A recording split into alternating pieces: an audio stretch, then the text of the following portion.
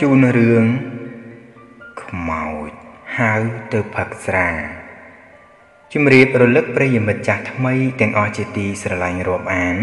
ជាបន្តទៅទៀតនេះខ្ញុំបាទនឹងនិទានរឿងពិតមួយជូនដល់លោកអ្នកបានស្ដាប់កំសាន្តកំដរអារម្មណ៍ចង់ដឹងថាសាច់រឿងយ៉ាងណា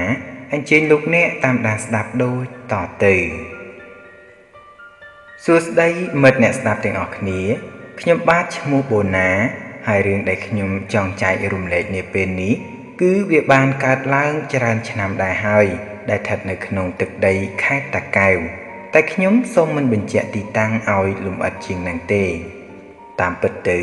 នៅក្នុងភូមិរបស់ខ្ញុំនឹងកាលពីមុនមកក៏ល្បីថាមានការលងបន្លាចច្រើនណាស់ដែរពីសំណាក់ពពួកខ្មោចព្រាយអស់ទាំងនោះ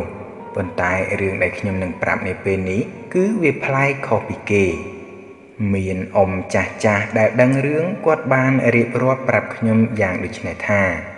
សម័យថ្ងៃមួយ ពេលដែលរបបប៉ុលពតបានចូលមកត្រួតត្រាក្នុងប្រទេសកម្ពុជា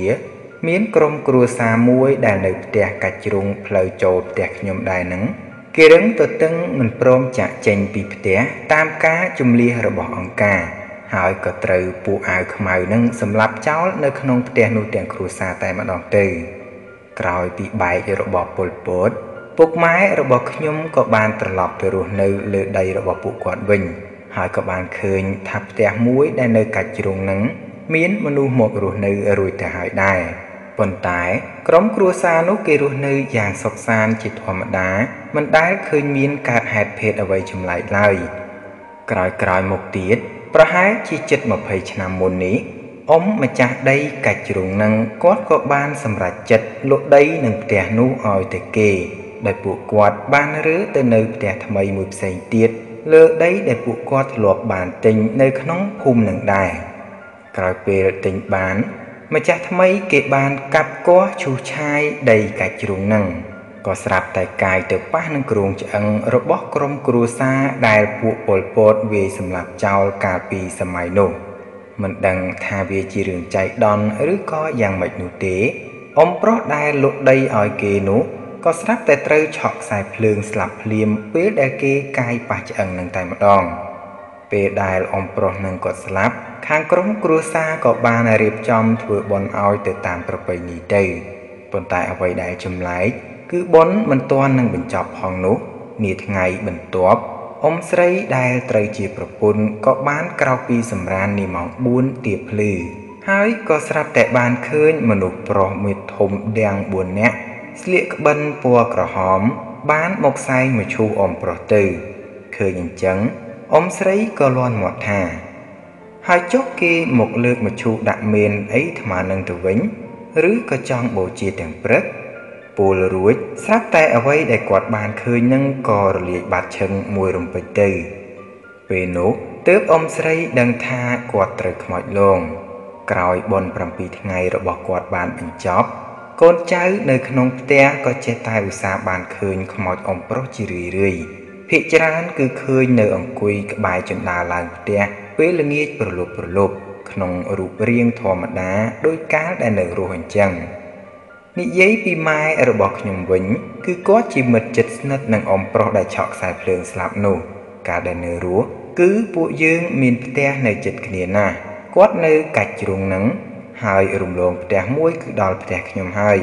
ហើយមុនបាយពួកគាត់តែងតែទៅហូបស្រានៅតូបលក់ចាប់ហួយជាមួយគ្នាជារឿយរឿយតែមិនមែនផឹកស៊ីអួបនួប្រមឹកអ្វីនោះទេគ្រាន់តែហូបមួយកូនកែវគ្រាន់នឹងបាយឆ្ងាញ់ប៉ុណ្ណោះ ក្រោយពេលអ៊ំនឹងស្លាប់ទៅម៉ែខ្ញុំក៏អស់ដៃគូហូបស្រាជាមួយ មានឯណាល្ងាចមួយខណៈម៉ែខ្ញុំកំពុងតែបោសសម្រាមមុខផ្ទះបងស្រីធំក៏បានទៅហៅគាត់ឲ្យទៅហូបបាយគាត់ក៏ប្រាប់ថាឲ្យហូបមុនទៅគាត់នៅបង្ហើយសម្រាមបន្តិច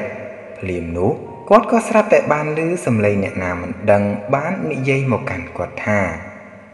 តោះអ្នក ទៅដាក់មកតយសិនអីចាំហូបបាយខ្ញុំខានហូបជាមួយអ្នកឯងយូរហើយឮដំបងម៉ែខ្ញុំគាត់ដូចជាមិនបានចាប់អារម្មណ៍អ្វីនោះទេ តែពេលឮគេហៅជាលើកទី2ទើបគាត់នឹកឃើញដល់អ៊ំប្រុសឆក់ខ្សែភ្លើងដែលជាដៃគូគាត់ម៉ែខ្ញុំប្រាប់ថាគាត់ព្រឺសម្បូរខ្ញាក់បះរួមជ្រងតែម្ដង ហើយក៏បានរត់ចោលអំបោសទៅផ្ទះបាយបាត់ទៅ តែគាត់ខំធ្វើជាហូបបាយធម្មតាដោយមិនទាន់ហ៊ានប្រាប់អ្នកណាឡើយមិនមែនលងតែម្ដងនឹងទេ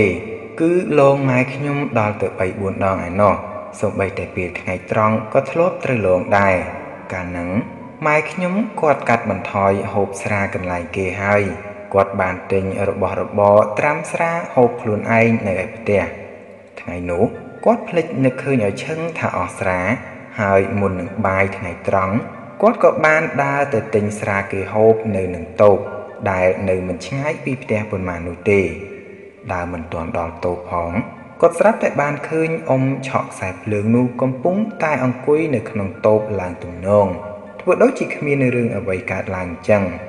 ឃើញយ៉ាងនឹងហើយម៉ែខ្ញុំក៏ត្រឡប់ក្រោយវិញដោយមិនខ្វល់ថាខ្លួនឯងស្រវាំងភ្នែកមើលច្រឡំឬក៏យ៉ាងណានោះទេ ទាំងតែដាក់មេផាយទៅផ្ទះសុកចិត្តបាយមិនឆ្ងាញ់មួយពេលចោះតែក្រោយក្រោយមកទៀតមិនដែលឮម៉ែនិយាយថាបានឃើញឬក៏បានឮសំឡេងអ្វីទៀតនោះទេប៉ុន្តែមានអ្នកភូមិមួយចំនួនគេបាននិយាយថា គេនៅតែឃើញគាត់នៅឈរត្រង់កន្លែងកាច់ជ្រុងអតីតដីចាស់របស់គាត់ដែលលក់ឲ្យគេនោះឯង